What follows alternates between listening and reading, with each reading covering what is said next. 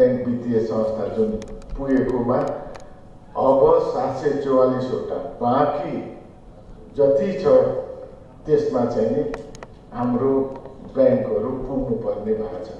ती ब्याङ्कहरू भनेको त्यो क्षेत्रको त्यो इकाइको त्यहाँ बजार विस्तार हुने बजार एकदम निश्चित रूपमा बजार विस्तार भएर त्यो ठाउँमा आर्थिक क्रियाकलाप बढ्छ यसको अर्थ के हो भने यतिबाट पनि हामीलाई अझै पैसा पुग्दैन कि आन्तरिक रूपमा लगानी गर्न भन्ने ठ्याक्कै देखिन्छ। त्यस कारणले गर्दा अब बढीमा दसवटा गाउँ विकास समिति कम्तीमा चारवटा गाउँ विकास समितिको मिलाएर चाहिँ नि एउटा युनिट इकाइ बनाइएको छ।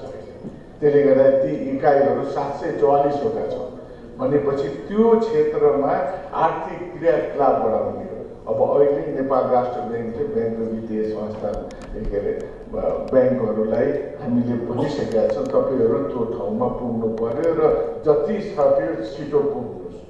जसले गर्दा राष्ट्र ब्याङ्कले तोकेर पुर्याउनु नपरोस् कि फलानु ब्याङ्क त्यहाँ जानु पर्यो फलानु ब्याङ्क त्यो स्थिति नआओस् भन्ने स्थितिमा हामी छौँ र जहाँसम्म लाग्छ ब्याङ्कहरूबाट यो ठाउँमा हामी जान्छौँ भनेर राष्ट्र ब्याङ्कमा आइसकेको